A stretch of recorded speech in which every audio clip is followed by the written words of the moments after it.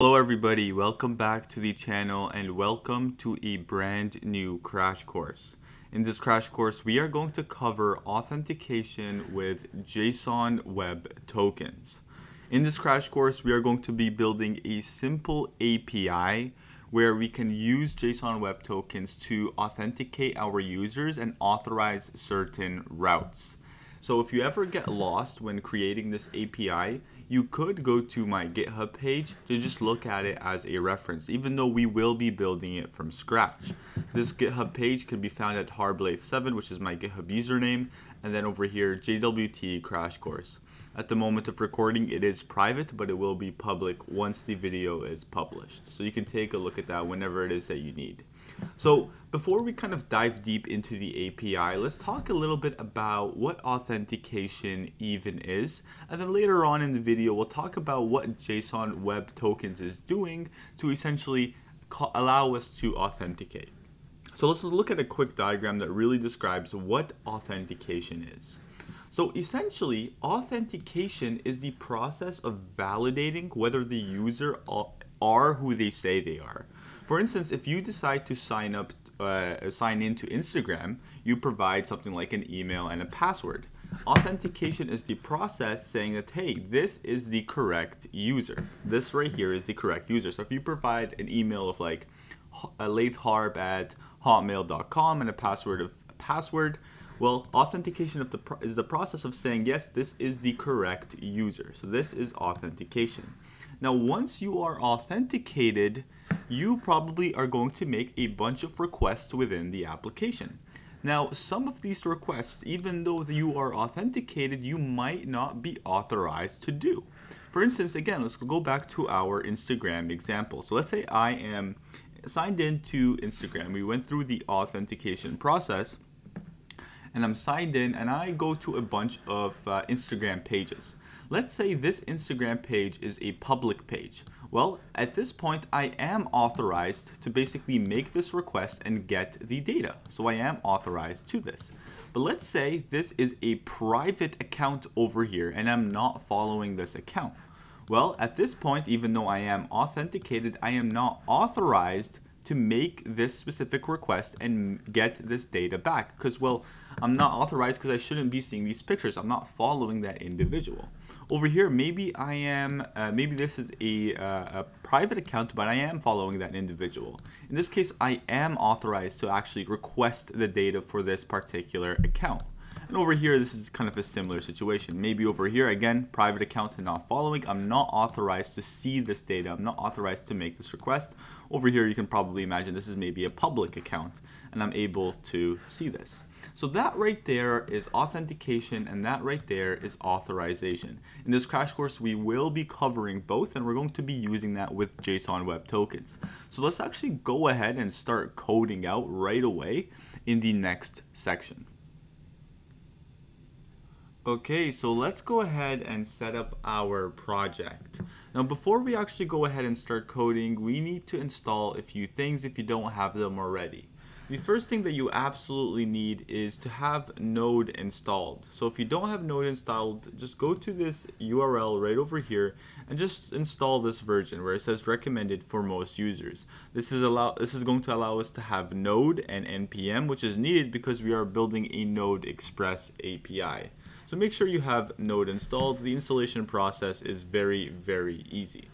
Now, the next thing that we need to have installed is Postman. Postman over here is a way that we can actually test out our API. We're going to be making a bunch of post requests to our API and there's really no way we can test it out in the browser and that's why we are going to use Postman to test out certain routes. The absolute last thing that you need is some sort of text editor. I am using VS Code, which is by far the most popular text editor out there, but you can use a bunch of text editors, whatever it is that you prefer. So once you have all these installed and once you have your text editor open, create a directory where you want your project to be housed. So I have over here uh, uh, a, a JWT, that's where I want it to basically my project to be housed and then I opened this VS Code text editor at this particular project. Now in here, we're going to do a little bit of setup to set up our Node Express application. So the first thing that we want to do is we want to open up the terminal. So let me quickly just zoom in here. So we want to open up the terminal and we want to initialize a new node project. And to do that, we do npm init npm init-y to create a package.json file. So give that a quick second and we should have a package.json file in no time. Let's just wait a little bit longer. And this, there we go. We have our package.json. Now the next thing that we want to do is we want to create just an index.js file. This is basically where uh, our Express application is going to be up and running. So we'll, we'll do that a little bit later in a second. Now, the next step that we want to do is we want to install a dependency known as NodeMon. NodeMon is a dependency that allows us to auto reload our uh, Node application. Because if we ever make a change in a Node application, we actually have to restart the server to actually see it. Whereas NodeMon detects these changes and automatically reloads our server. So it's very important that we install this. So we can install this globally by doing npm install nodemon and then with the dash g flag which allows us to install it globally. Now I already have this installed and you can check if you have it installed by doing nodemon version dash v and over here I get a version if you get an error that means you don't have this installed. Now over here in the package.json, let's create a start script. So we're gonna say start, and then this is going to be nodemon, and then index.js. So essentially we're saying that, hey, we want to run this index.js file. And if any changes occurs in this index.js file, then go ahead and auto reload our application. All right, so that is that. Now let's set up a simple Express app. So let's go ahead and let's do a little bit of installation. So let's do npm install express and let's go ahead and do that. Now once that is installed, we should be able to see it in our package.json as a dependency. So let's do that. It should be relatively quick. And there we go. We do see it. And we also see our node modules. Okay, so now we have our Express app.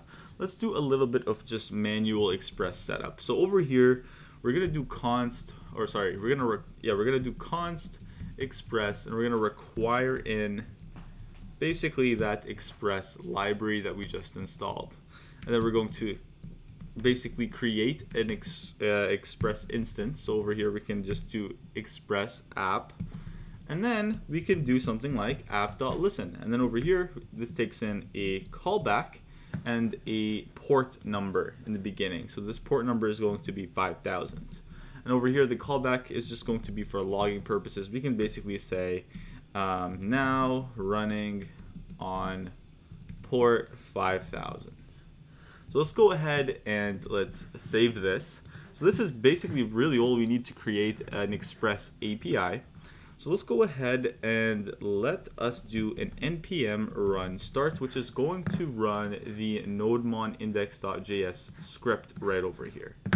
So let's go over here and let's run that and we should see a log very, very quickly saying, hey, you are now running on port 5000. So let's just wait up a little bit and there we go.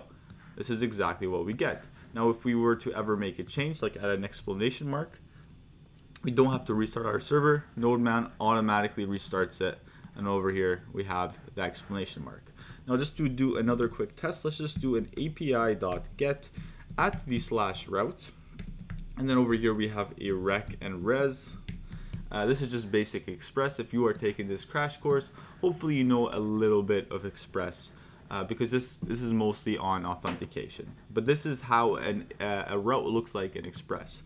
So let's just do a quick res.send so we can basically send something to the browser. Hi, I am working. Let's go ahead and let's save this. And now let us go to localhost. Uh, let's go to localhost 5000 at the slash route. And we should see here, hi, I am working. So there we go. We have our Express application set up. Now, in the next section, let's go ahead and let's start making some routes for authentication. starting with the log, or, or sorry, starting with the sign up route. Okay, so let's go about creating the sign up route. Now the sign up route, it has quite a bit of logic associated with it. And this diagram kind of has a flowchart of all the logic that needs to be implemented inside of our sign up route. So the first thing that we have to do is we have to get the email and password that the user provides us with. So with every single request, especially with the sign up request, they're going to provide us with the email and the password, and we have to somehow get that in our server. Now, once we get it, we need to validate it. We actually have to validate whether the email is actually an email and whether the password fits whatever criteria that we set. For instance, let's say our user provides an email that looks a little something like this.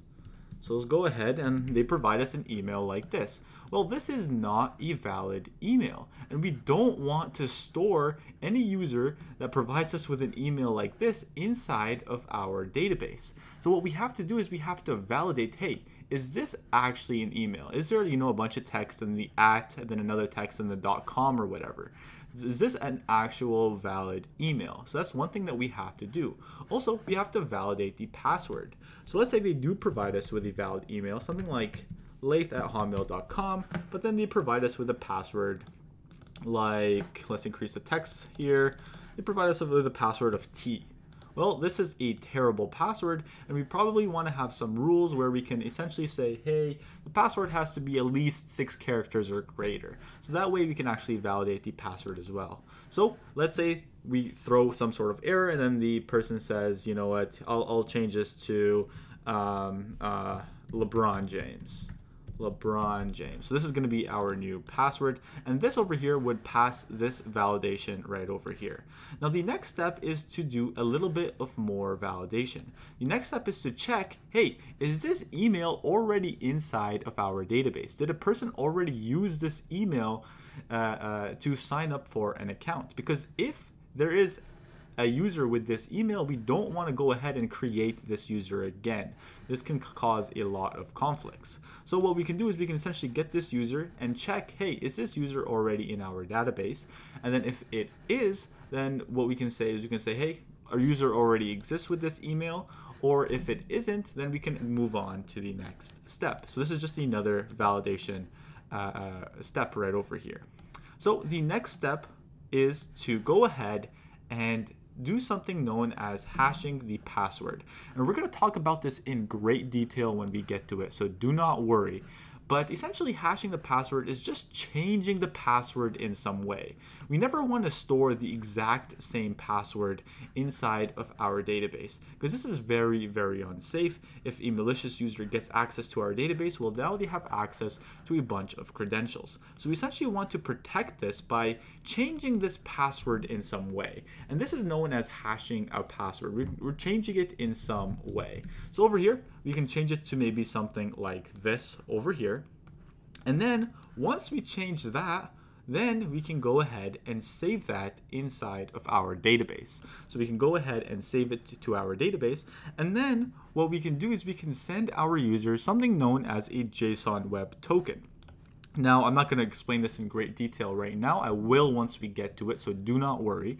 But essentially, a JSON Web Token is a way that we can identify our users. So once the user signs up or logs in, we send them that JSON Web Token, and then for each each uh, uh, request afterwards, they're going to send us the JSON Web Token that we provided them with. And then essentially we use that JSON Web Token to figure out the identity of the user and see if they have access to a particular request or not. So this is the flow that we are going to take and let's actually start with it in the next section.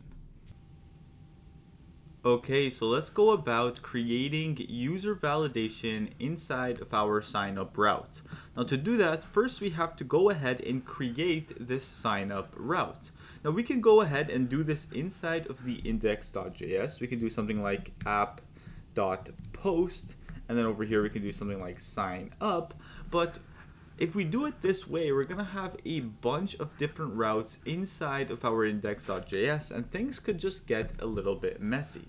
So why not instead just group all of the uh, all of the routes that are associated with authentication into its own file, and then I can just basically export that file into this index.js so that the, this index.js can use those routes. And we can actually do that in an Express application, which is terrific. So to do this, let's go ahead and let's just create a folder where we're housing all of our routes. Now inside of this routes folder, let's create an auth.js file. In here, we're going to have all of our routes that are associated with authentication. Now, the next step is after we create these routes, we want to basically import them into the index.js so that index.js can use them. Now to do this, we can use the router method that Express houses. So we can go ahead and do something like const router and we can require in Express so we can require in Express and then use the dot router method. Now, essentially now what we can do is we can do e modules.export and we can export this particular router. So let's go ahead and let's save this. And now that we have exported this router, we can go into our app.js and we can basically import that in. So we can do something like, you know, const auth is equal to require, and we require that particular route. So route slash auth. Now to use it in this particular application, we would just say app.use, and then we would specify a path that all of the uh, uh, authenticated routes, all of the routes in this particular file, file will follow. And that's, we're gonna say that this is the slash auth path. And then over here, we specify, well, what we want to use. We want to use this right over here, the auth that we just imported. So let's go ahead and let's save this. And let's over here, let's create a route. To do this, we would use router. Let's just do a quick slash get. This is just going to go to the root directory. Now over here, we're gonna do a quick rec res, and we're gonna send res dot send. We're gonna send auth route working. So this auth route is working. Now, if we go to over here, if we go to our browser, and now what we want to do is we want to basically test if this is working. Now remember, this is slash auth, just slash on its own, but because over here we've specified slash auth, this all the routes are going to start off with slash auth and then we can append whatever other routes that we want in or whatever path that we want want in. So we have to do slash auth to basically see this route. So over here we see auth route working. Now if i were to change this to something like um, slash test or slash sign up then you would have to do slash test to see this particular route over here if i go back to slash auth it says hey we can't get that so right now, everything is working fine. Let's actually go about creating the actual sign up route. So over here, instead of slash test, let's do slash sign up. And instead of a get request, let's do a post request because this is a post request.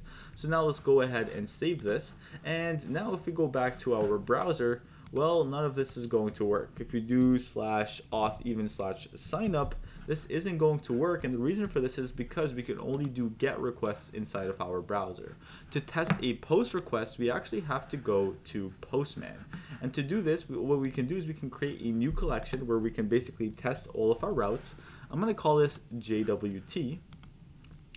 And then we're going to create a new request. Now this request is going to be is going to contain this URL over here, localhost 5000 slash auth slash signup.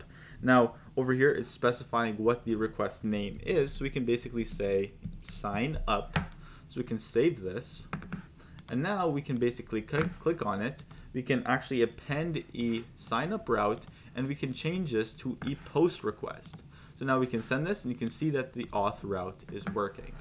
All right, so what is the first step that we have to take? Well, the first step that we have to take is we have to get the user, the user's email and password. That is the absolute first step. Now, that is the responsibility of the client. If the client is making some sort of request to a particular uh, endpoint, the sign up route in particular, it is going to have to append some data within it containing the password and the username that the user provided. Now, this typically is going to be stored in the rec.body. So right over here, the rec.body, the request body. So over here, what we can do is basically access the password and the email from the rec.body.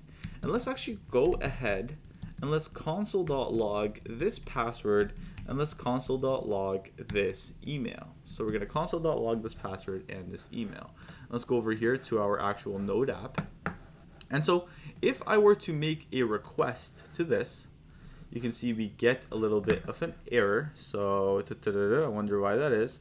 So it's saying, okay, well, you cannot, okay, so you cannot get password from rec.body because it is undefined. Now the reason why rec.body is undefined is because inside of our index.js, we have to basically allow for Express to use JSON inside of the rec.body. And this is very, very easy to do. All we really have to say is app.use and then you just say express.json. And this is basically a method right over here. So if we save this, and now if we go back, and we send off this request, everything seems to be working fine. However, at this point, it is undefined, undefined. And the reason for this is because the client didn't specify any of the username or passwords in the rec in the basically request body. So over here to do this in Postman, what we can do is we can go over here to the body, we can go to raw, and we're going to specify some JSON data. Now this JSON data is going to be, well, an email. And so this email is going to be harblaith uh, at hotmail.com. And then we are going to do a password of password. So let's go ahead and let's send off this request. Everything seems to be working fine. But over here, you can see that we actually get back our email and our password. So over here, if we go over here, we have completed this step right over here. We are able to get the email and the password from the user. Now, the next step is to validate that email and password. For instance, you know, I could have I could have very very easily provided you with something like this, just harp, and very very easily provided you with something with like this or just like P, or it could even provided you provide you with absolutely nothing. And if I send this off, well, I get this data back. I get harp and then, well, nothing. And we have to basically validate if this is a valid password or email. Now we can do this from scratch inside of our sign up route. We can do something like, you know, if the password dot length, so if the password dot length is uh, uh, less than six, then we can return some sort of error. Now, um, now, essentially, this is kind of where it gets tedious, especially for the email. We're going to have to do some pretty complex validations for email to figure out, hey, is there an at right over here? Is there a dot right over here? Uh, this kind of gets complicated and very cumbersome, and we're, in a sense, reinventing the wheel. There's many packages and libraries out there that do this exact same thing. And one very common uh, library that is out there that does this is something known as Express Validator. This Express Validator is a library that allows us to validate certain things in our application. So we're going to use Express Validator to do this. Now to, to basically uh, use Express Validator, we first have to install it as an npm dependency. So we can do npm install Express Validator. Let's do a quick installation. And right now you should have Express Validator inside of your package.json along with Express. So let's go ahead and let's go to our auth directory. And what we're going to do is we are going to import something from Express Validator. So we're going to require in something from Express Validator.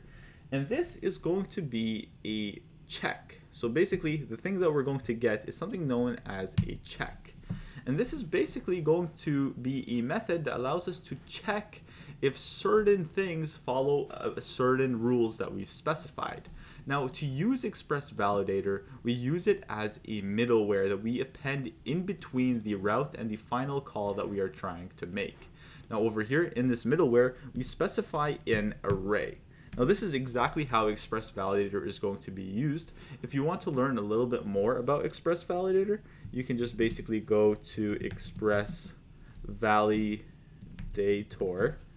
And this is a npm package, just write npm uh, right over here. So this is a very, very popular npm package. Actually, this might not be it actually. Let's see here. npm. Uh, let's actually just go ahead and let's just copy. I'm sure that's not the npm package. Let's go over here. Let's just copy Express Validator. And let's go over here. So if you want to learn more about Express Validator, let's just press this. This is exactly how we would use Express Validator. So you can either get body or check. I'm using check, for instance. And then right here in between the route and the final call, we're going to have a, a, an array that basically contains all of the checks that we want to make. So let's go ahead and let's do that. So over here, what we're going to do first is we're going to check if the email, so we're going to check if the email is an email. And essentially we can do these checks by appending a bunch of methods uh, after the particular check. So we're going to check if the email is an email. So that is the first check that we're going to do. And this has a bunch of validations to really check if the email that we provided is an email. Now, let's also do another one. Now, to do another check, we basically specify a comma right over here saying that, hey, we're done with this. And then we can basically say that uh, we want to check this time the password and we want to check hey is the password is its length so over here is length and then is its length does it have a min value of 6 so that right there is how we can basically append this. Now over here we can add multiple validations by basically appending multiple methods. We can basically do you know is lowercase for some reason or is uh, whatever. You know, there's multiple different things that you can probably read right over here. You know, is a date, is a whatever. So this is how we essentially use Express Validator, but I'm gonna have basically just these two requests or two validations right over here. So that is the first step now the second step is we want to basically tell it, okay, where we can get, where Express Validator can get access to this email and password because it can only get access to it from the rec.body. Well, to do this, we use another method known as validation results right over here. And basically, right below, right here, what we can do is basically we can say something like const errors is equal to validation results and then we pass in the rec. And what this is basically going to do is it's going to look inside of the rec.body body, and it's going to look for basically the email and the password. And it's going to see if it follows these particular uh, particular uh, uh, uh, specifications or requirements that we have specified. Now, if they don't, what, what it is going to do is it's going to return an array of errors. So it's going to return an array of errors. And we're basically storing it right here inside of this error variable. Now, essentially what we can do now is we can do something like this. If the errors, so if the errors, and we can basically check if this is an empty array or this actually contains a little bit of errors. And we can do this with is empty, with the is empty method. So we can basically say, you know, if the errors is empty, well, this is good. Then we actually want to continue. That the validation is is great. Like they provided us with a real email and a real password. However, essentially, if if maybe this is not empty, and we can basically specify the uh, if it, uh, basically the the not condition by having this explanation mark right over here. We can say if this is not empty, then what we want to do is we want to return essentially a res.status, we want to basically throw an error. So res.status of 400, and then we can basically say dot JSON, because then we want to send back some data, And then the errors can basically be, well, errors dot array. So errors dot array. So remember, this is an array. Essentially over here, what we can do is we can basically get this array by using the errors dot array method. So that is basically this. Now, right here, we have set up a little bit of validation. We've actually pretty much set up our password and email validation. So right now, theoretically, if we pass in a password and email or password or email that doesn't meet the criteria that we've met, we should throw this error over here. However, if we do pass a valid password and email, we should basically get this, you know, uh, res.send auth route working. Let's actually say, you know, validation passed, because this is really what is happening. Validation passed or passed. So let's go ahead and save this and let's give this a quick test. So right over here, this is completely not valid. So we can go ahead and we can send this and you can see the errors that we get. So let's go over here. We can see here that we have essentially uh, an error here. You can say this is an invalid value, uh, email, whatever. Now, however, the only issue that we're facing is, is this is kind of not as descriptive as we want. Right here, invalid value is not descriptive at all. You know, this is not a message that we particularly want to send back to our users. Instead, what we can do over here, after uh, as the second parameter to the check, we can basically specify a, me a, a, a message. So over here we can say, please uh, provide a valid email. So please provide a valid email. And then over here, please provide a password that is greater than five characters. So greater than five characters. So now if we go ahead and we send off this exact same request, you can see that this is the message that we get, which is a lot more descriptive. So over here, please provide a valid email. Please provide a password that is greater than five characters. And I misspelled please. So let's go ahead and let's do that. So there we go. Now we have our validations. Now let's say I do provide a valid email, but an invalid password. So we can go ahead and now we only get one error. But however, we still didn't go to this step right over here because we still got an error. Now if I provided maybe a password of this size, still have that error. If we provide a password of this size, well, now we get the validation passed. Now I, I also misspelled passed because this should be passed like this. All right, there we go. So this works perfectly fine. But now the next step of validation is making sure that this email hasn't already been used inside of our application. An account with this particular email hasn't already been used. And we to do this, we actually have to check our database. Now in this crash course, I don't want to go ahead and set up a database because this is a crash course on authentication. And if I set up a database like a SQL database or a MongoDB database, uh, it kind of becomes really a crash course about how we can start setting up these databases and storing this data. So I don't want to go about doing that. Instead, I want want to simulate what a database is ultimately trying to do. And I'm going to do that by just creating a db.js file. And over here, I'm just going to do simply const users. And over here, I'm going to have an array of objects. So this is basically going to be our database.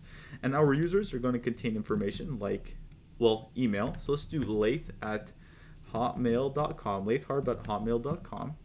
And let's say my password is one, two, three, four, five, six, seven, eight, nine. So this is how we're going to basically store our data. And this is not unlike how actual databases store our data. So you're not really missing out by not using a database. So let's actually go ahead and let's just export this out. So we're going to export users out. And now what we're going to do is we are going to go ahead and just import this over here. And we can basically treat this like an ORM uh, of sort. So let's go ahead and let's just require it in. Sometimes they say import, I really mean require. I'm just used to uh, either working in a React application or working with TypeScript that allows for imports with Babel. Um, but when I say import require, it means the same thing. So let's go ahead and let's, uh, this is from our database, so we're gonna move into that directory. And so now what we can basically do is now we actually have to validate if that user already exists in our database. Right now, we only have one user inside of our database, uh, laithharb at hotmail.com. So let's just write a quick note, you know, validated the uh, input. Now we need to validate if user already exists. Validate if user doesn't already or validate if user yeah doesn't already exists doesn't my, my typing is terrible today. Uh, if user doesn't already exist. So to do this this is very very simple. This is a very easy process. We essentially what we do is we basically say hey let the user equal to the users you know from our database we can basically say dot use the dot find method. And this is basically going to iterate through every single user inside of our database. And what we're going to do is we're going to have some sort of a check here. So over here, we can basically pass in user.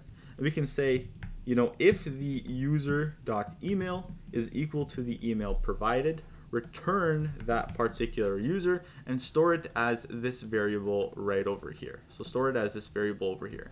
Now, if there is no match, this variable is going to be undefined. If there is a match, it is going to be that particular user object.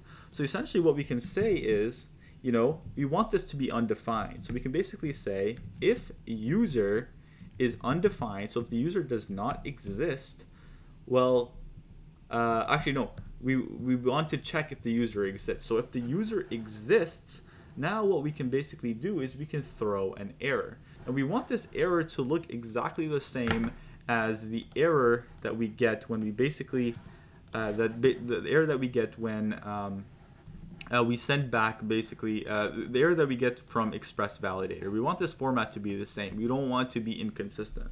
So what we can do is we can basically copy and paste this and then now what we can do is we can do a res.status of 400. You can use more specific ones like unauthorized routes, but I can't remember them off the top of my head.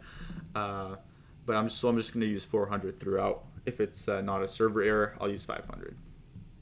Okay, so now we can basically do this, and we can basically pass in an error that looks like this. Now we don't really need the value. We don't need any of these really. We just need to provide a valid message. Something like this user already exists. This user already exists. So there we go. Now what we can do basically is let's actually go ahead and let's do let's, let's make this a valid user. And this validation passed because harblaith at hotmail.com doesn't already exist. But if I were to use laithharb at hotmail.com, which is a user that does exist inside of our database, and I were to make this request, I get this error message right over here saying that this user already exists. Now, if I were to, again, change the email, then we get the validation passed. So over here, we have completely accomplished these two steps, these two validation steps. The next step is after we validated our user, we want to go ahead and hash our password. So let's actually talk about that in the next section. Alright, so now that we have completed these three steps, we are now moving on to this step right over here, hashing the password. So why in the world do we want to go about hashing the password?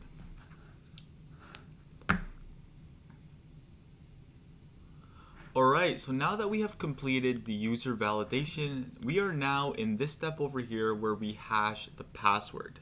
So let's talk a little bit about what hashing the password even means and why we even want to do it. So I have a few diagrams to kind of explain this. Now, let's say we get a bunch of uh, emails and passwords. There's different ways that we can actually store them in our database. One way is we can literally store them as plain text. So right over here, we have our database, and over here we have the email, and then we have the corresponding password. And over here, essentially, we're storing the password exactly how the user gave it to us. So over here we have password, and then over here we have password 1, password 2, password 4, password 5, corresponding to each respective email. Now this is probably not a good idea And you probably know why. If some sort of malicious user, some sort of hacker or malicious user within the company itself has access to this database, well, now they have access to a bunch of different credentials. And so now they can go into our software application and log in to whatever account that they want to or basically what they could do is they can maybe get this password and start logging into other software applications because people use the same password more often than not so this is not a great idea for security reasons. Again we don't want to store this in plain text. So another way we can go about is encrypting our password. So over here a user can provide us with a password. We can have some sort of key over here and using this key we can encrypt this password into kind of this like jumble that doesn't really mean much to us. And then when we need to when we need to basically uh, uh, get access to this particular password what we can do is we can use this key again and we can in or decrypt it back to the original password so over here essentially we have this kind of encryption we can use this key and then we can get this password back right over here. Now this again is a better approach, but it is not ideal. And the reason for this is if a malicious user, if a malicious user gets access to our database and our encryption key, then, well, it is pretty much the same as storing our passwords in plain text. They basically have access to every single password in here because they can just decrypt it with this key right over here. Now, this does add another layer of security because now the user needs to get access to the database and the key, but it is still not ideal. And there, again, the reason for this is because if the user gets access to both, well, the passwords are, well, compromised. They're, they're all there and this could lead to a lot of issues. So what's the other solution? Well, another solution is we can go ahead and hash our password. And that is the solution that we are going to take. And hashing is basically a one-step thing right over here. It's a one-way process. We have a password and then we hash it to some mumbo jumbo. There's an algorithm that does this. However, you can't you can't basically decrypt this back into the original password. This is a one-way process. And there's a lot of hash functions that do this. Now, essentially how hash functions work is you give it a password and then it hashes it to, well, a particular uh, um, a particular set of strings corresponding to that password. Now, however, the only issue is, well, if I if I provided with uh, uh, a password that is exactly the same, that hashed version of the password is going to be exactly the same as well. So over here is going to be completely identical. So this is kind of problematic as well. And the reason for this is because what hackers or malicious users can do is they can basically get a bunch of passwords that are very, very common, maybe like password or uh, I love you or, or very, very, very common passwords and get their corresponding hashes and essentially they can just do a brute force approach where they can say, okay, does this hash correspond to this particular password? Does this hash correspond to this password? Does this hash correspond to this password? And you know, with the technology that we have right now, this can be a very, very fast process. And if you have a weak, very common password, well, your password could be compromised. So essentially what we can do instead to kind of circumvent this is for each password, we can append an arbitrary random number amount of strings. So for instance, let's say a user provides us with a very, very weak password right over here. Let's say this password is, um, let's say this password, it's a weak common password. Let's just say I love you. I heard, I heard this was a very common password. And the reason why I'm saying this is because I love you, my audience, right over here. So this is a very common password, very, very weak. Uh, you know, this is probably at the top of the list of any sort of dictionary hash, uh, or basically some sort of uh, hashed password and then the password itself dictionary. So this is a, a very, very common password. So what we can do to kind of circumvent this is append or uh, prepend a random group of strings. So it can be something like, you know, this. And so essentially, now we have basically this right over here, and this is, well, not a very common password. So then what we can do is we can go about hashing this, and then this is going to make it very, very difficult for any sort of brute force thing to occur, some sort of brute force attack to happen. Because now, well, I love you is a very, very common password, but I'm sure I love you 7 hash uh, star 4H W is not a common password. And this is why we want to append this string or prepend this string to this password. And these are known in the hashing world as salts. So that is exactly what we're doing. So let's go about and implement this mechanism right over here because this mechanism is the most secure. Now, if you, you want optimal security, you can actually implement a combination of mechanisms. You can go ahead and you can hash you can hash this over here so you can get basically the hashed version. So you can add a salt, you can go ahead and hash it, and then maybe you can use a little bit of encryption. So now the user, what they have to do is they have to first get access to the database, and then they have to get the encryption key, and then after they get the encryption key, they have to go through this whole brute force to figure out exactly what this password is supposed to be. So that's a combination that you can do. We are not going to do that. We're just going to mainly work on this over here, hashing our password. So let's go about doing that right now. So let's go to over here. So now we've done our validations. So now we want to hash our password. Now to do this, we want to use a library that allows us to hash our password because there's a bunch of hashing functions that we can use. There's very uh, common ones like bcrypt, uh, there's argon, and there's a very few ones, but the, but the most popular one in my mind is something known as bcrypt. So let's go bcrypt right over here. I always misspell bcrypt right here. So this is a very, very common library for hashing our password. You can see here, very, very popular. So let's go about using this one right now. So let's do npm install, and we want to install bcrypt. I always misspell bcrypt, so let me see. There we go. npm install bcrypt. So this is going to be our hashing function. So once that is installed, and this might take a little bit of time, we can basically get it. So we can basically say uh, bcrypt. So we can basically require that in. So we can say const bcrypt from bcrypt. And now what we can do is we want to go ahead and hash our password. So we can say something like, well, let our hashed password, not hard password, hashed password. So we're going to say let our hashed password equal to bcrypt dot hash. So bcrypt dot hash. And the first parameter that we're going to provide is the password, the plain text password that we are trying to hash. And this is the password that the user provided.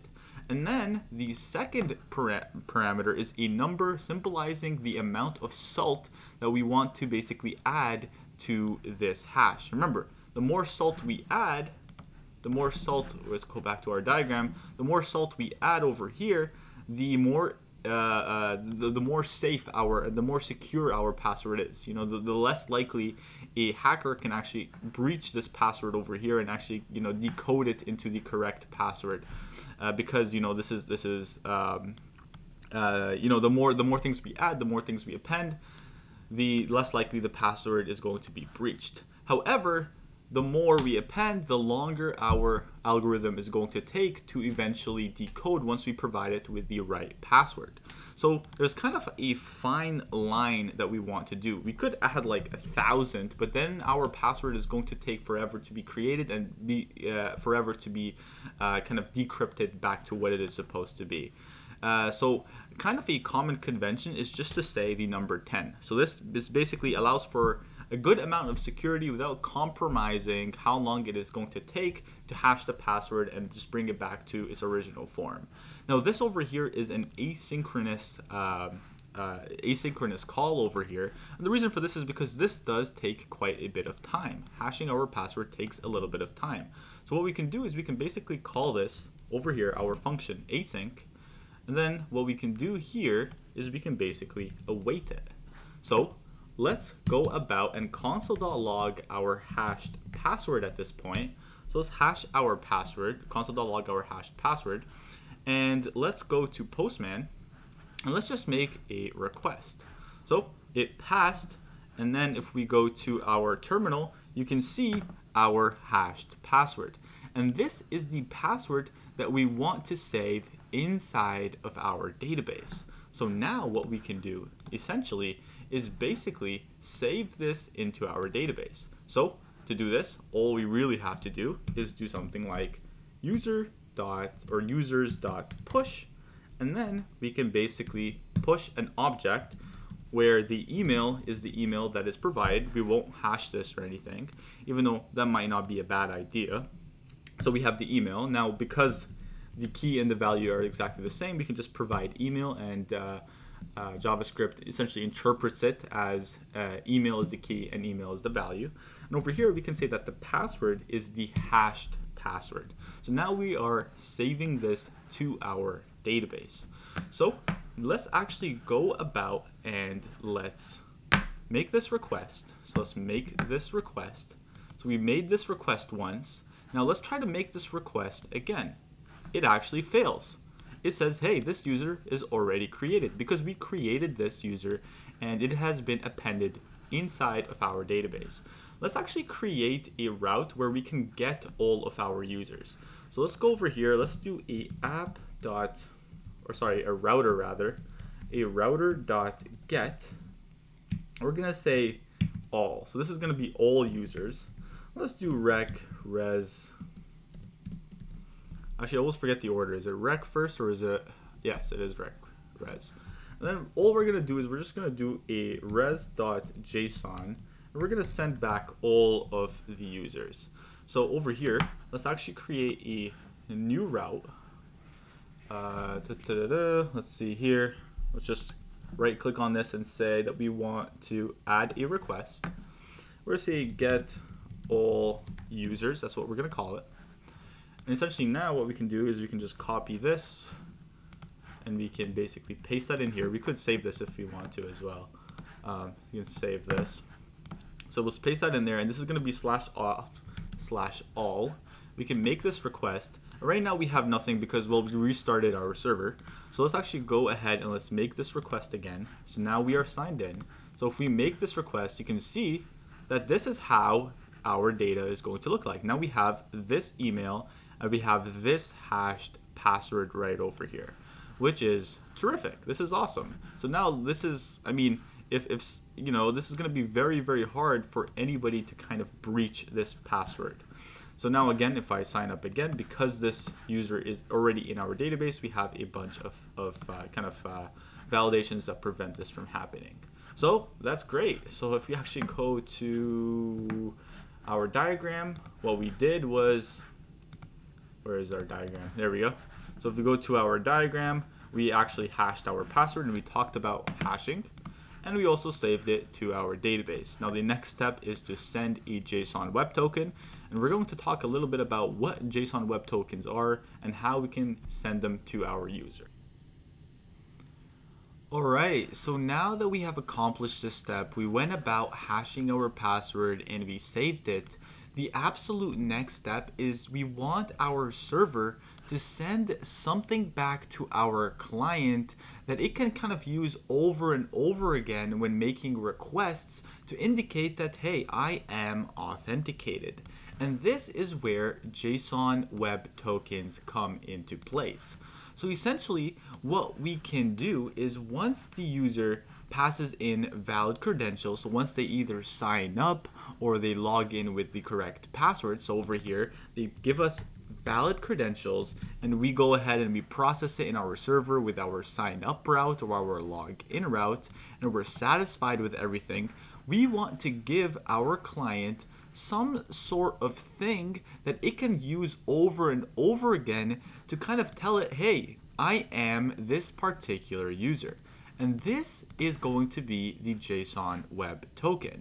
So essentially, right after it passes the credentials, we are going to generate a JSON Web Token. So we're going to generate this JSON Web Token. We'll talk about exactly what is inside of a JSON Web Token in a little bit. We're going to generate this JSON Web Token. And then we're going to give that back to the client. And then it is going to be the client's responsibility to store this JSON web token somewhere.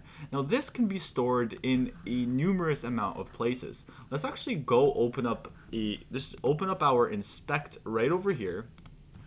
And you can see if you go to applications, you can store it in local storage. You can store it in session storage. You can either store it as a cookie, but the client is responsible for storing this JSON web token. And again, this JSON web token contains information about who this client is. So now, once the client is authenticated and logged in, they have this JSON web token stored somewhere in their browser. And for each appending request, what they can do is they can send this JSON web token to the server. The server can then interpret this JSON web token, see that, okay, this is the user right over here, and then can, they can determine if they can authorize a certain request or not. But this is basically the premise of a JSON web token. Now, if we go to over here, jwt.com, we can actually see how our JSON web tokens are going to look. And there's three parts to a JSON web token. There is the header right over here, which we are very we're not going to work with at all actually and then we are going to work with these two sections right over here so then we have the payload and this right here is just kind of encrypted information about a particular user so right here this was decoded into hey the name John Doe the uh, ITA of whatever this number is, and whatever. So our JSON Web Token can contain information about our user. Now this is very, very easily decoded. They can literally just copy and paste this JSON Web Token into this uh, uh, uh kind of uh, text area right over here and see that information. So we never want to store sensitive information. For instance, we never want to store a password in here. That, that's a terrible idea. We might not even want to store an email. We will in our case, but it might not even be a good idea to do that. Uh, we want to store not not so sensitive information in here. We will store the email, but the email might not be the greatest idea. So, and then the last thing over here is some sort of secret. And this is basically kind of the uh, the security of the JSON Web Token. Inside of our server, we're going to have some sort of key. And this key, you can see it over here. Let's actually zoom in a little bit more. Let's see if that. This key can be kind of any sort of randomly generated uh, strings. So you can over here, we have this particular key, and you can see how this secret right over here changes. So you can go over here, add some more, and you can see that the secret changes. Now, if somehow, some way this is tampered with, over here, let's say like this, we get rid of the Y, well, now we have an invalid signature because this secret right over here is basically in charge of this right over here. And this is kind of what allows for the security. So let's go back over here. And if we tamper, maybe get rid of the I, again, we get something invalid. And then we get, if we, if we continuously kind of manipulate and try to change our JSON web token, we are going to get a bunch of invalid data. And this is the only way that we can actually decrypt a JSON web token and see if it is truly uh, the JSON web token that our server sent out. Because only our server should know this key right over here, this guy. All right, so let's actually go about and let's code this application out. All right, so let us do this right now. So to do this, what we have to do is we have to install a package known as, well, JSON Web Tokens, because this is the package that is going to create our JSON Web Token. So what we can do is we can do simply npm install npm install and then JSON Web Token. Let's go ahead and install this. this shouldn't be too, too long. There we go. And then over here, we can do something like const JWT, and this is going to be required from JSON Web Token. All right, so now over here at the very bottom, what we can do is we can essentially create this token. So let's go ahead and let's do something like, well, const token. And over here, this should also be const because we're not really changing this. Uh, and over here, this should also be a return because we don't want to execute anything if we get any sort of error. I kind of forgot about that. My apologies. So over here, we can do const token, and this is going to be asynchronous. So we can do uh, jwt.sign, and this is allowing us to create our token. So the first thing that we can pass in is the payload. Remember, the payload is kind of the text that we want our JSON Web Token to have. Essentially over here, we can basically say that our payload is going to be the email that was provided for our sake. Again, this might not be a good idea for security reasons because, well, emails are pretty sensitive, but uh, we're just going to do it for the sake of this application. So this is going to be the payload. And then over here, let's provide it with some sort of secret. That is the next step. Now the secret, we're gonna have it be complete gibberish. Now it's probably not a good idea to store it as plain text over here. You might want to have this in a .env file and not, you know, commit it to GitHub. But again, this is kind of a dummy app, so we're not gonna worry about this level of security. So over here, this is the secret. And then the next thing that we can optionally add is an object where we can specify a bunch of different options. One option is, hey, you know what? I want this, uh, uh, when do I want this JSON Web Token to expire? You know, we probably don't want this JSON Web Token to be there forever. We might want it to expire at some point. So we can basically specify the time in seconds. I'm just gonna specify a really large time because I don't really care. I want it to really live as long as possible for this crash course. So over here, we have generated our token. And then the absolute next step is to send that token to our client. So now what we can do is we can say JSON uh, res.json and we want to send off that token. So now let's go to Postman. So now let's go to Postman and let's go sign up. Let's sign up with a kind of a more regular email. Let's just do laith at harb or laith at hotmail.com. We'll keep the password. So now when we send it, you can see we get back this JSON web token. So if we go over here, now let's go back to our, uh, our website right over here, and we paste this in, you can see that we get, well, we get our payload. So you can see here that, okay, we have our payload, we have this, but you can see that this is an invalid signature. And this is essentially how we're going to validate our JSON web token. If, if for some reason somebody decides to send us a, a, JSON web token and it is invalid, and this is because this is the secret key that we're providing, um, we're going to basically not accept it. We're going to say that, hey, you are not authenticated. Now, in this case, this is the secret key right over here, and this is why it's not working. So let's go ahead and just copy that. And this is so this is the secret key that we are using. So we can basically paste that in there and you can see that this is verified. Now if someone were to tamper with this or send off a like another JSON web token, so let's say they got rid of the J, you can see that all of a sudden now it becomes invalid. So this is why we have the secret. So now again, this JSON web token is going to be stored somewhere in the browser and then for each upcoming request, for each uh, uh, authenticated request where you need to be authenticated, it is going to pass this JSON web token into either the header of the request or the body. Now commonly it is going to be found right over here inside of the header. Uh, it's typically as something like xauth token and then our uh, JSON web token. So our JSON, so our JSON web token would be found somewhere right over here like this. So for each upcoming request, basically our uh, our server can then use this JSON Web Token to ensure who this user is and if they are really authenticated. But we're to do this in a future section. In the next section, we're to actually have to work on the log in route because we are actually completely done the sign up route. And now that we're done the sign up route and we have a good understanding of exactly what the process is, the log in route is to be very, very quick. So I'll see you guys then. Alright, so now let's work on the login route, and this is a lot simpler, especially now that we know about hashing in JWTs.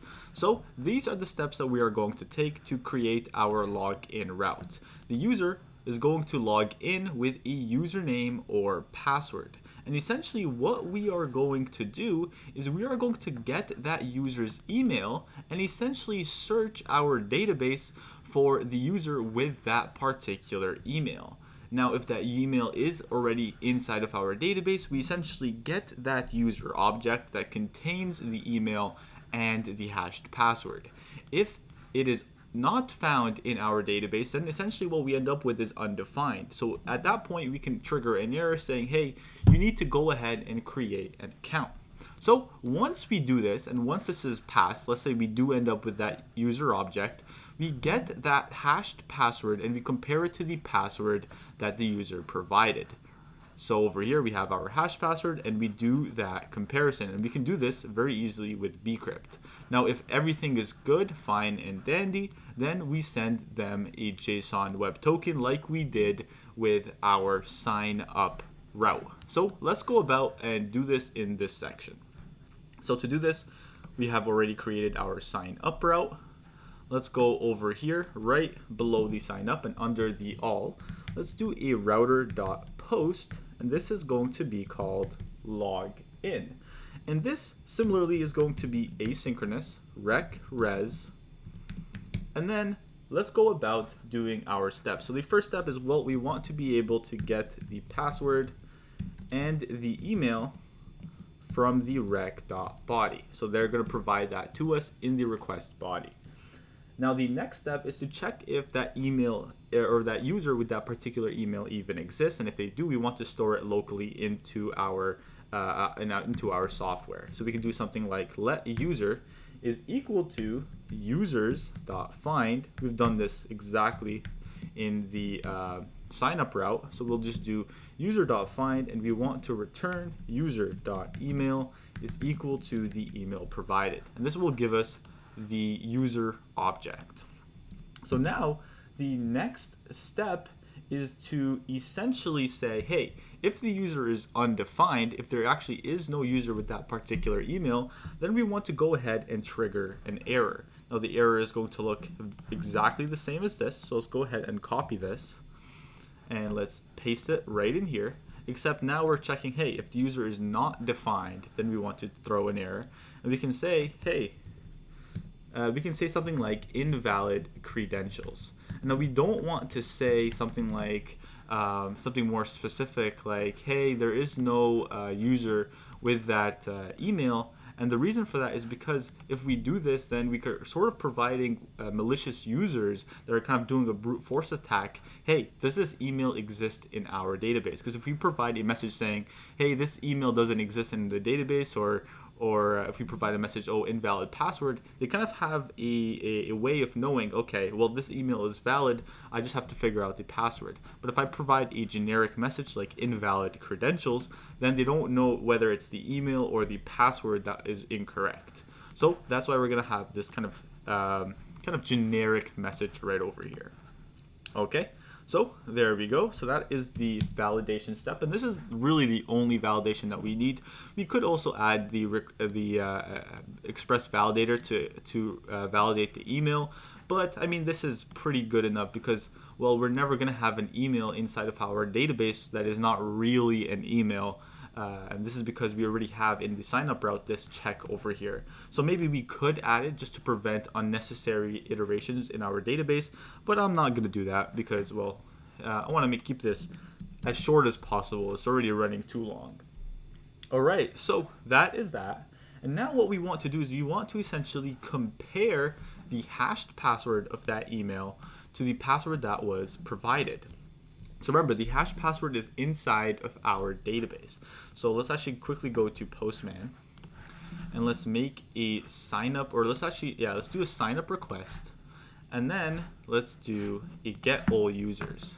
So over here, you can see here that this is how our data is going to look. This is just an anomaly that we created, but this is typically how our data is going to look.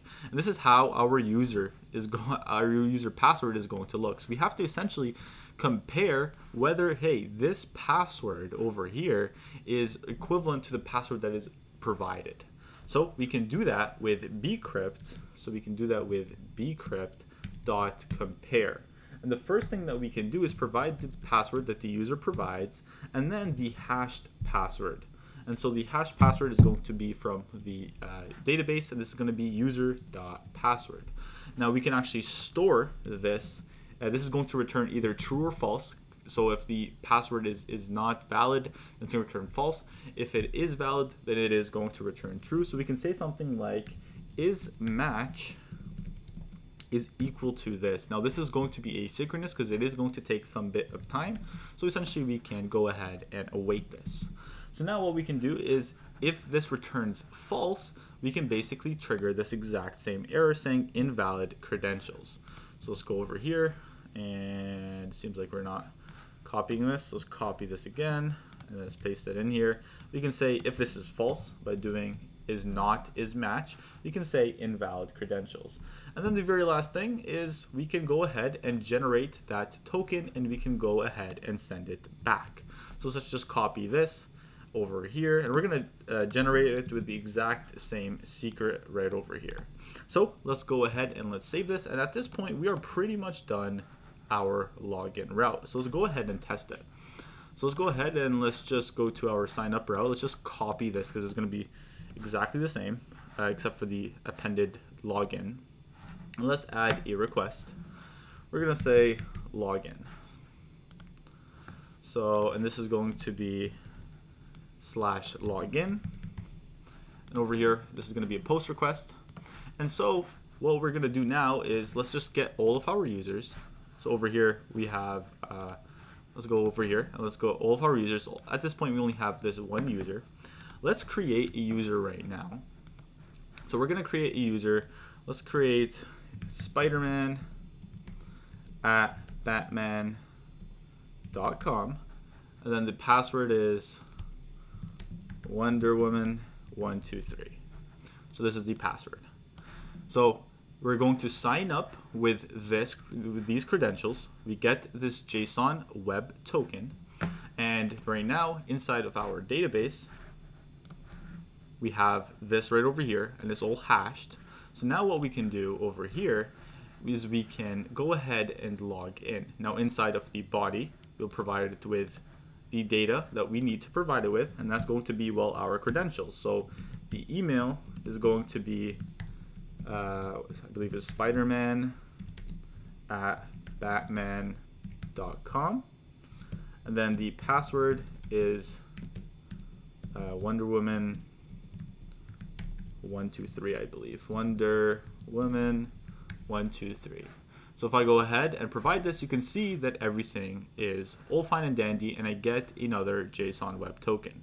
Now, let's say I, I, I, uh, I input the wrong password. So let's say I get rid of, I just say woman instead of wonder. You can see here, invalid credentials. Over here, you can go back to Wonder Woman. Valid credentials, let's say I provide an invalid email.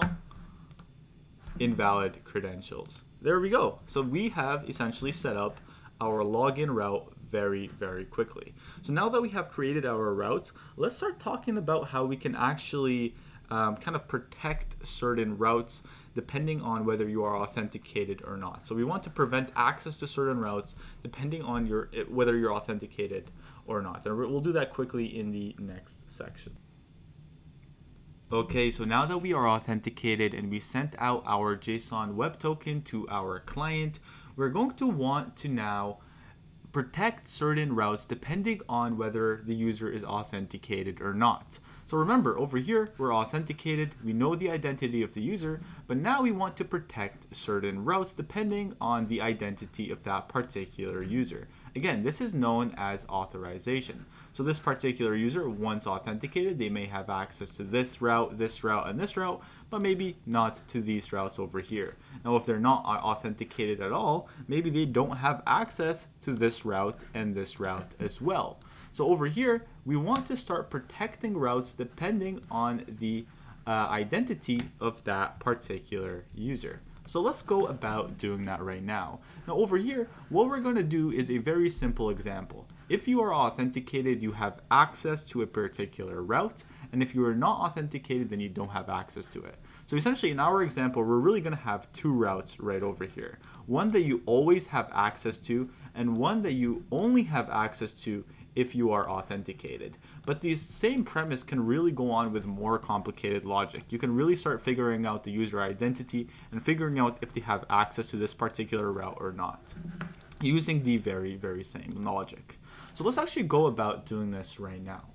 So inside of our database, let's say we have a few more tables or collections or whatever database that you're trying to use.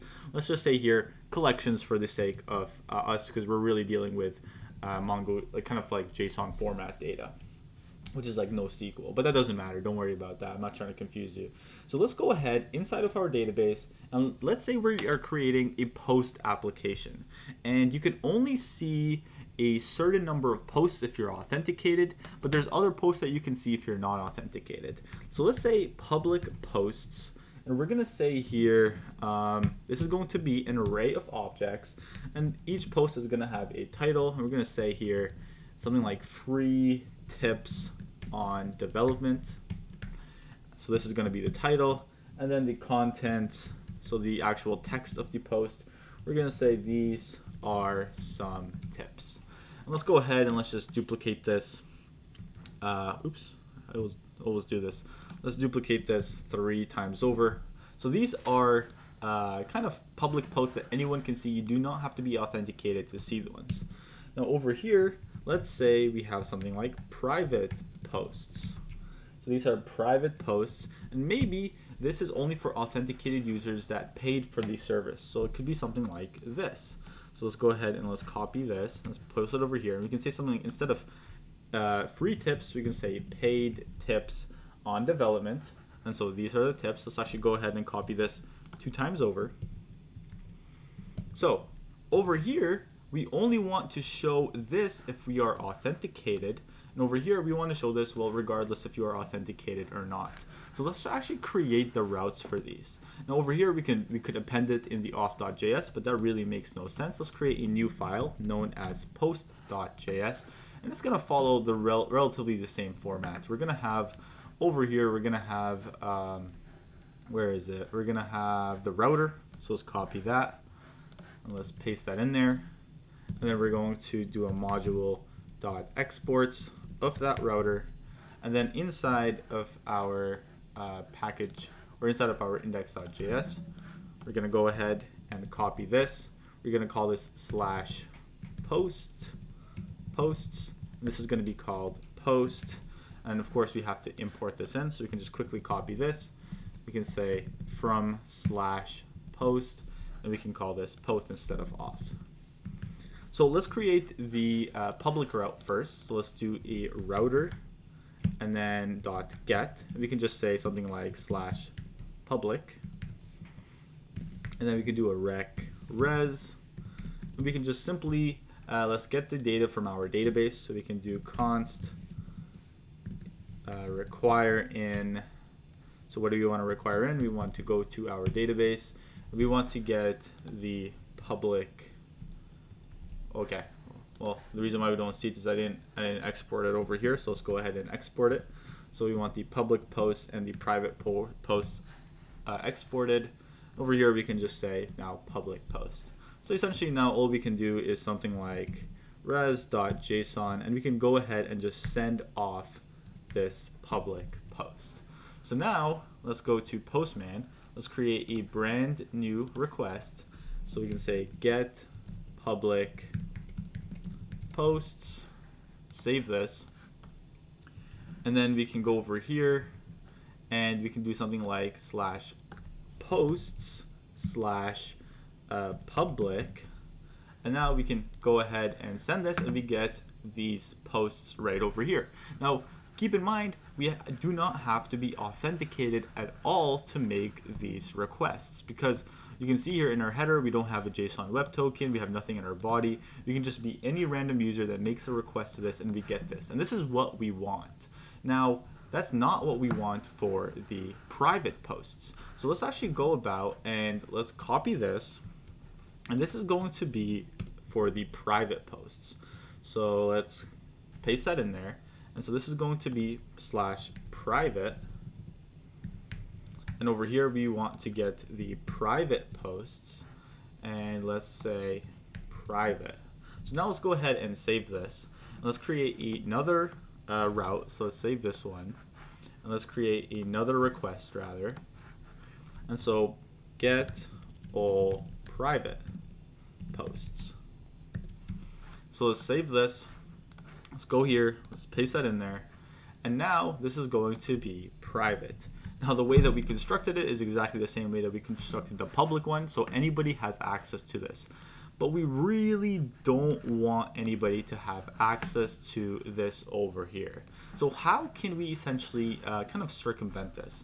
Well, for each request, the, the, the client is going to have the JSON web token inside of the header. This is what we're expecting. Now, if the JSON web token is not in the header, then what we can do essentially is, well, not authorize this request. And how do we do this? Well, we can do this with middleware. And middleware are essentially functions that are called in between one another. So over here, I can have a, basically another function right here, another arrow function that is called before the final arrow function right over here, this one, this final arrow function that actually sends off our request. And similarly, this takes in a rec, a res, and something known as a next. And essentially, if everything is fine and dandy, if everything is fine, and we want to move on to the next either middleware or final function, we basically call this next function. If it's not, then we can basically re return some sort of error. So inside of this middleware, what we can actually do is we can do something like, okay, well, let's say uh, user valid. So let's say we, we do some sort of check and and we figure out that the user is not valid. So this is not a valid user. Either they don't have the JSON web token or, or, it's, or it's been compromised in some way or it expired. What we can essentially do is we can basically say, well, if the user is valid, so if the user is valid, then what we can do is we can basically call this next function. Else, else, what we can do uh, oops, what am I doing here? Else, what we can do is we can basically return res.json some sort of error. Now the error is going to look exactly like what we have over here. So let's copy this error. So we can do something like this. So let's copy this. So we can do something like this, you know, um, you know, please log in, you know, or, or, or, or something like access denied. So this is going to be access denied. I completely forgot how to spell denied, so I'm just going to say access D. So uh, let's do access denied. So over here, essentially, right now, let's say that we did some sort of check over here, and then um, and then we realize that this is false. So basically, we get this access denied. So let's go over here, and let's just go and make this request again. And you can see here that we get access denied. Now, uh, let's say that this is true. We do our little check. We can go ahead and save this. And now, well, we get our tips. And that's exactly how we can authenticate certain routes. Now, we're not going to particularly want to append this whole function after every single protected route that we are going to create. Instead, what we can do is we can get rid of that and essentially inside of here, we can basically create a folder for middleware. So in our root directory, we can create a middleware folder. And in this middleware folder, we can create any middleware that we want. Now the middleware that we are going to want to create is the check auth middleware. So the check auth middleware. And over here, we can simply do something like module.exports and then this is going to be, let's say, this is going to be async eventually because we are going to be using JSON Web Tokens. And so we can do rec, res, and then next. And then over here, essentially now what we can do is, well, we have exported this middleware right over here. So we can save this. And now for any protected route, what we can do now is we can say const check auth, and we can basically require that in from the middleware uh, uh, directory. So middleware slash check auth. And if anything needs to be protected, we can just append check auth right over here. And because this logic is going to be exactly the same, it's better if we just store it right here. So if for some reason we also want to uh, authenticate this, then we can add check auth right over here. But that's not where, what we're gonna wanna do in this case, so let's not worry about that. Okay, cool. So what really do we add in here? Now remember, for each request, the client is responsible for sending us JSON Web Tokens. Now, in the request, it is typically found in the header, and so that is where we're going to have it. But if the client doesn't send us JSON Web Tokens, then we basically want to say, hey, you don't have access to this particular request, or if it sends us an invalid one, we also do the exact same thing. So over here, again, we're expecting the client to have some sort of JSON Web Token inside of the header. So we can say something like, okay, we want to get the token from the rec dot header and we, this can be really called whatever is want. So a header has a key and a value. So the key can be whatever, and then the value, of course, will be the uh, the token. But typically, the key is called slash x slash auth slash token, or something like bearer token. I like x slash auth slash token better. So we can say something like this. So we can say, okay, we want the token from this over here. Now, the first thing we can do is we can say, okay, is the token or is the JSON Web Token even present? So we can say if it is not present, then we can go about throwing an error. So what is this error that we are going to throw? Well, again, we want to make our errors as consistent as possible. So we can basically paste this right over here. And we can say something like no token found. So that is the first thing that we are going to do. And then the next thing is we want to actually validate that particular token. So now what we can basically say is um, JWT, and of course we're going to get this from the JWT library. So we're going to go over here and use the JWT to verify the token that we got back. So we can do something like JWT, and we're going to require that from the JSON Web Token library. And again, we're going to use JWT to verify this token. So now we can do something like J JWT dot verify and here we provide it with the token and then we provide it with the secret that only our server is going to know. Now our secret is this thing right over here. Again, highly suggest that in a real application you store it somewhere a little more a little more safer, but this is where we're going to store it, just this plain text right in there.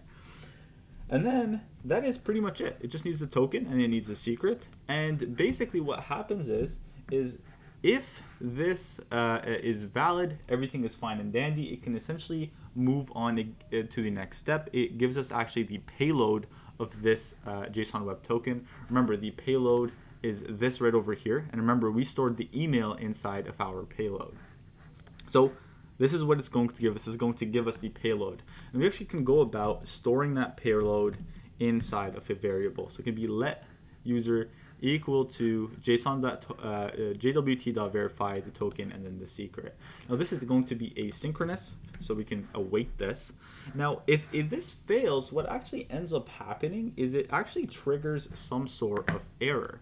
So what we can do now is we can basically put this in a try catch block. So if, if everything is fine, we get our user. However, if everything is not fine, it throws an error. So now, essentially, we would be in this catch block right over here, and we can say something like, we can say something like, um, token, token invalid. So token invalid. Now, if everything is fine, what we can do is in the request itself, what we can do is we can append a value known as user, and we can essentially say that this is going to be the user.email. So now for every single authenticated request, we actually have access to that particular user's email, which could be helpful for getting their information.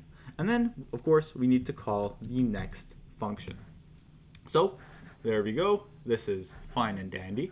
So let's actually go about uh, doing this right now. So now if I were to make a request to this, you can see that no token is found. Let's go ahead and let's actually append just a random gibberish token. You can see that, hey, this is an invalid token. So now what we can do is let's say we go ahead and we log in over here. So let's log in. We created this token. So this token is now stored in the user's browser. And then we provided this token right over here you can see here now we are completely authenticated and we have access to the data. So that right there is the uh, authentication with JSON Web Tokens with Express Crash Course. I hope you guys learned a lot and I'll see you guys in the next one.